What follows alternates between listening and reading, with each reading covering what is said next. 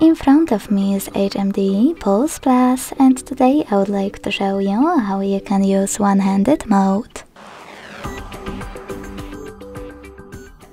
Begin by opening settings and scrolling all the way down to access system.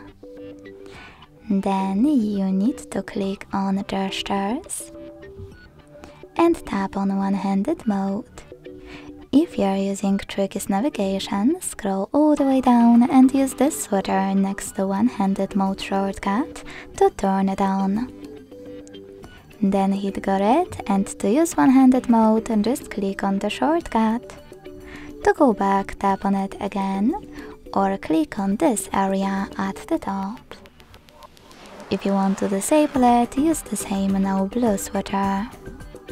If you are using gestures navigation though, you need to use this, sorry, you need to use this switcher next to use one-handed mode to enable it.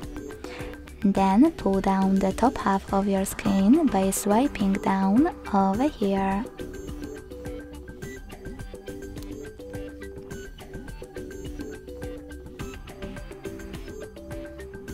You can go back by swiping up or clicking on this area at the top again.